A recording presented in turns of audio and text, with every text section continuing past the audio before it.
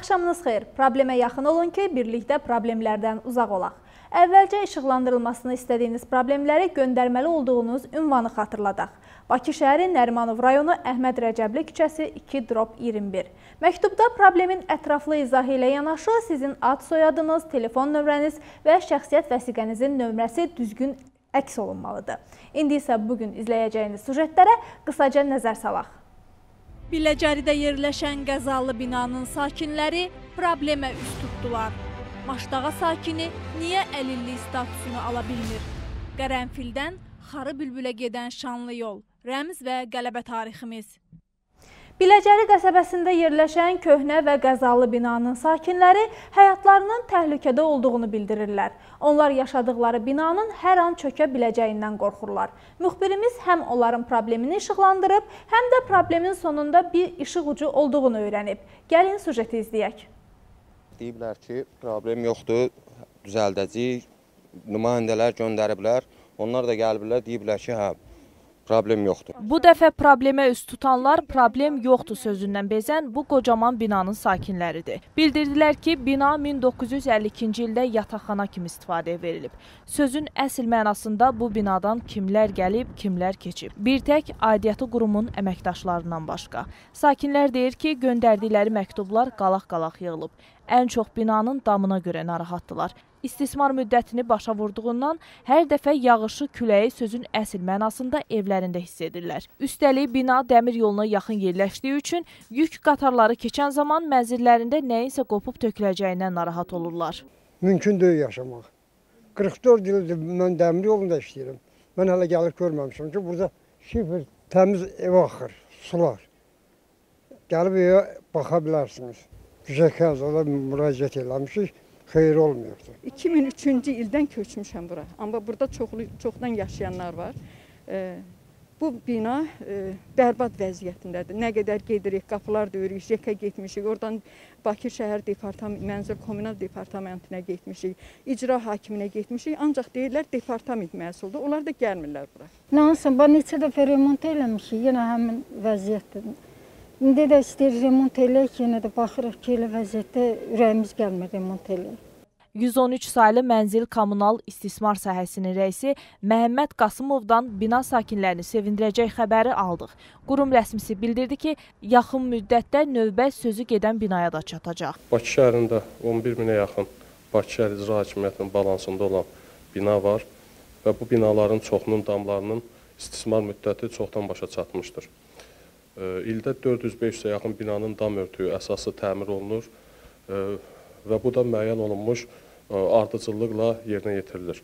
Göstərilən ünvanın da bu ilki siyahıda nəzərdə tutulması qəbul olunmuşdur.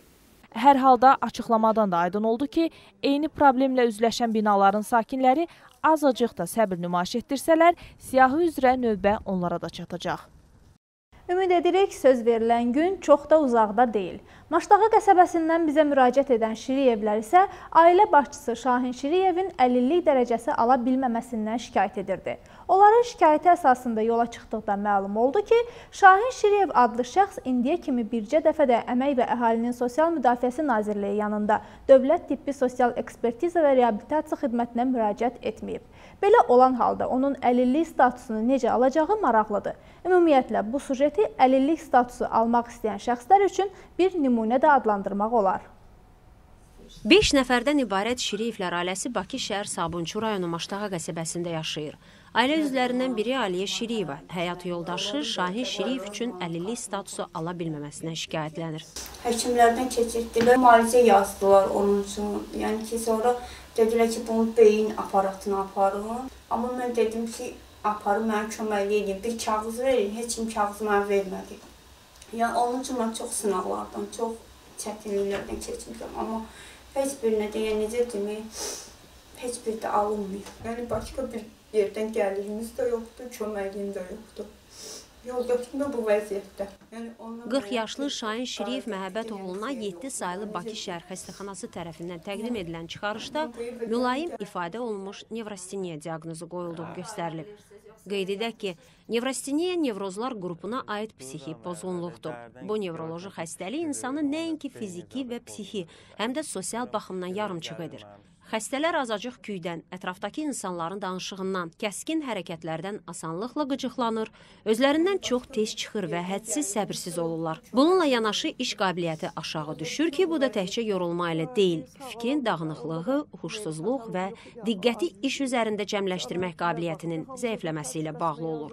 Elə Şahin də bu sadalananlardan əziyyət çəkir. Hepsən baş ağrı tutur mənə, hepsən yıxılıram hepsən yerə. Dəyirəm hepsən yerə.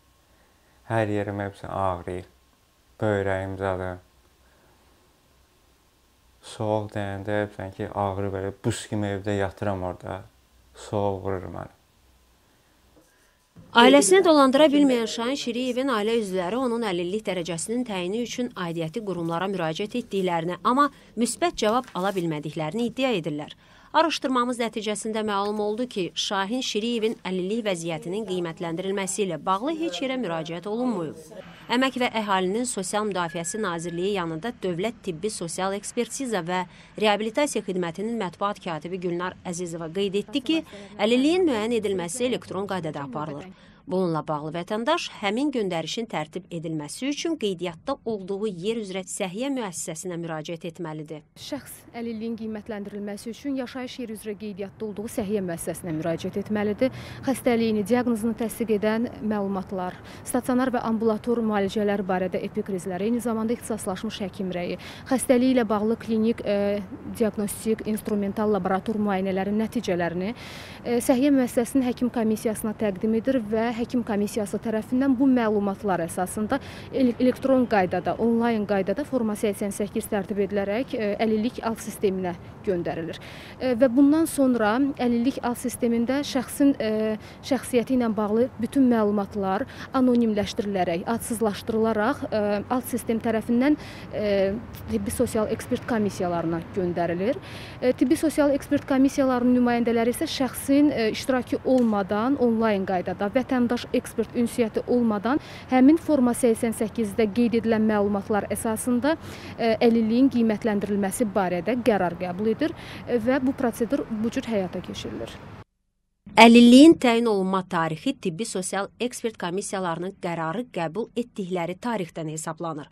Azərbaycan Respublikasının əmək pensiyaları haqqında və sosial müavinətlər haqqında qanunlarına uyğun olaraq əlilliyə görə əmək pensiyası və ya sosial müavinət almaq hüququ olan əlillər qeydiyyat yeri üzrə Dövlət Sosial Müdafiə Fondunun rayon və yaxud şəhər şöbələrinə müraciət etməlidirlər. Elə Şahin Şiriyevin əlillik dərəcəsi ala bilməsi üçün onun ailə üzvləri də düzgün qaydada aidiyyəti qurumlara müraciət etməlidir. Odur ki, heç kəs hüququndan məhrum edilə bilməz, amma nəzərə almaq lazımdır ki, müraciət edən vətəndaşın sağlamlığı doğrudan da onun əlillik dərəcəsi almağına müvafiq olmalıdır.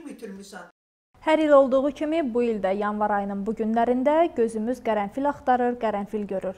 31 il öncəyə qədər Sevgi Gülü adlandırılan qərənfil bugün Şəhidlər Xiyabanının bəzəyidir. Bu ildən etibarən daha bir çiçək rəmzə çevrildi. Xarı bülbül. Kim bilərdi ki, xan qızı Natəvanın sənə mən aşiq şeyda qərənfil dediyi çiçəyə bir əsr sonra şairlər ağla xitabı ilə müraciət edəcəklər. Sevgililər onsuz görüşə getməzdi. Tapa bilməsə haray salıb çiçək tapa bilmədim oxuyardı. Onsuz sevgiyə inanmazdılar. Toylarda gəlinlərin son zəng günündə məzunların əlindən düşməzdi o. Sevgi rəmzi idi qərənfil. Azərbaycanda 26 növü yetişdirilir, amma bu gün Azərbaycan vətəndaşları üçün o bir növdədir. Anım gülü növündə. Artıq 31 ildir ki, heç bir azərbaycanlı sevdiyinə bu gülü hədiyyə etmir. Yox, 31 ildə azərbaycanlılar məhz sevdiklərinə, vətən sevgisi uğrunda şəhid olan əzizlərimizə hədiyyə edir o gülü. Qan rəngli qərənfil. İllər keçdikcə başa düşdük ki, sənə ağla dedikcə özümüz göz yaşımızı silmişik. Hansı günün şərəfinə rəmz seçildiyini bütün mahiyyəti ilə dərk etmişik bu illərdə. Anlamışıq ki, 20 yanvar matəm yox, qürur, şərəf günümüzdür. Bu gün qərənfil gül dəstəsində tək deyil. O çələngə bir gül də əlavə olunub xarı bülbül. Yalnız Şuşada bitən həmin gülü bu gün Azərbaycanlıların əlində, sinəsində görmək necə gözəl duyğudur. Vaxtilə Ağabəyim ağanın Vətən bağı al əlvandı yox içində xarı bülbül deyib bayatı həsr etdiyi bu gül indi bu qədər əlçatandır. Xarı bülbül də rəmzdir. Qələbə, təntənə rəmzi. İndi heç bir güldən ağlamasını istəmirik. Qoy çiçək ömrü yaşasınlar. Ətirlərini dörd bir yana saçsınlar. O ətirdə biz bərpa olunmuş qürurumuzu, qələbəmizi daha yaxşı duyacaq, daha yaxşı duyduracağıq. Şəhid ailələri, onların qayğıları, problemləri cəmiyyətimiz üçün ən önəmli yerdə duran məsələlərdən biri olmalıdır. Bu gün Səbail rayonunda şəhid ailələri ilə görüş keçirilib. Şəhidlərin xatirəsi yad edilib, ailələrinin problemləri dinlənilib. Müxbirimiz həmin mərasimdə iştirak edib. Mərasimdən hazırlanmış sujeti təqdim edirik. Ölkəmizin ərazi bütövlüyü uğrunda gedən döyüşlərdə qəhrəmancasına şəhid olan əskərlərin xatirəsi daima yaddaşlarda qalacaq. Məhz onların göstərdiyi şücaət nəticəsində uzun illərdir işğal edilən torpaqlarımız bugün işğaldan azad olunub. Bu sözləri Səbali rayonunun icra başçısı Vüqar Zeynalov rayonun şəhidlərinin xatirəsinə inşa olunan abidə qarşısında şəhid ailələri ilə görüşü zamanı deyib. İcra başçısı qeyd edib ki, şəhid ailələrinin, müharibə əlillərinin, veteranlarının sosial ehtiyaclarının dövlət tərəfindən ödənilməsi, həmçinin vətən uğrunda öz canından keçmiş şəhidlərin və Qarabağ müharibəsi əlillərinin övladlarının təhsil haqqından azad edilməsi, Eyni zamanda bu insanların mənzil və avtomobillərlə təmin olunması da ölkə ictimaiyyəti tərəfindən yüksək minnətdarlıqla qarşılanır. Qeyd edək ki, vətən uğrunda canlarını qurban verən Səbaili rayonunun qəhrəman şəhidlərinin adları məzarlığın giriş hissəsində xüsusi hazırlanan mərmər lövhədə həkk olunub. Bunların sırasında şəhid Cavidan İbrahimli və Bilal Qəmbərovun da adları var.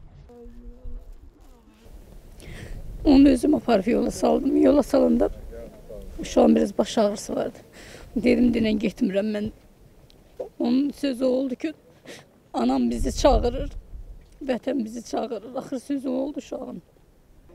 Müharibənin noyabr oktyabr tam vuruşu noyabrın 3-dən 4-nə keçən gecə Şuşada şəhid olub. Gedəndə öz yerini demirdi orada. Danışırdıq. Vaxtaşırı 3 gündən 4 gündən beri. Əgər deyirdi mən 5 gün olmasam, onda mən axtararsınız. Narahat olmayın məndən. Özünüzə yaxşı baxın. Qızı var idi bir dənə. Qızım Nazlıdan müğayət olun. Hər şey yaxşı olacaq.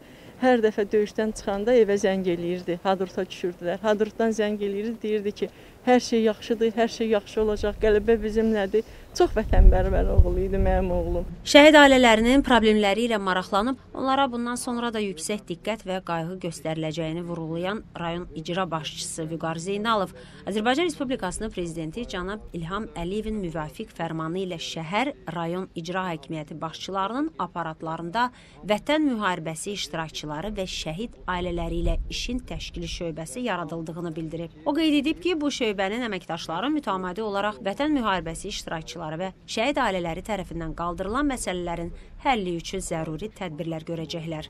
Bugünkü görüş digər rayonlarımız üçün də örnək olmalıdır. Müharibə iştirakçılarının, şəhid ailələrinin problemləri həmişə prioritet təşkil etməlidir. Bu məsələni bugün studiyamızın qonağı ilə müzakirə edəcəyik. Qonağımız Qarabağ Qaziləri İctimai Birliyinin sədr müavini Əkbər Məmmədovdur. Əkbər müəllim, bir ictimai birlik olaraq siz daha yaxşı bilərsiniz. Bugün Qarabağ qazilərinin hansı problemləri var? Qarabağ Qazilər Cəmiyyəti yarandığı gündən bu günə qədər biz istər qazilərin, istər şəhid ailələri və müharibə veteranlarının problemləri ilə məşğuluq və bu işlərin onların sosial rifahlarının, onların maddi vəziyyətlərinin yaxşılaşması sayəsində biz çalışan bir ictimai birlik olaraq biz fəaliyyətimizi davam etdiririk. Bu gün də həmin fəaliyyətimiz davam etdirilir. Ancaq buna baxmayaraq şəhid ailələrinin, qazilərinin və müharibə veteranlarının problemləri hələ də davam edir. Problemlərdən ən başlıcası bunların sənədlərinin olmaması, yəni ala bilməmələri, istər şəhid ailələri, istər qaziləri, istər müharibə veteranlarının və bunun da biz dəfələrlə müraciət etdiyimizə baxmayaraq hələ həll olunmayan e, məsələlər durur.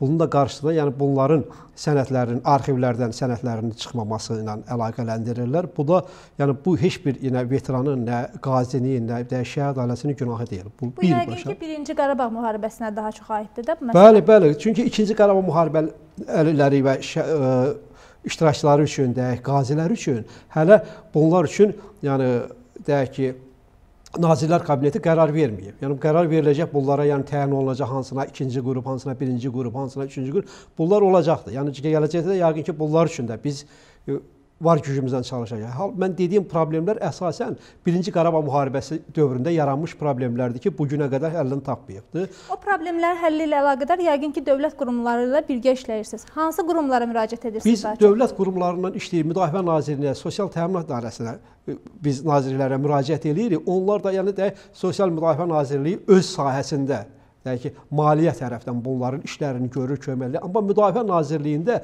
sırf bu məsələ həll olunmur və onlar ancaq ora müraciət edəndə cavablar ancaq gəlir ki, arxivdə sizin adınız yoxdur.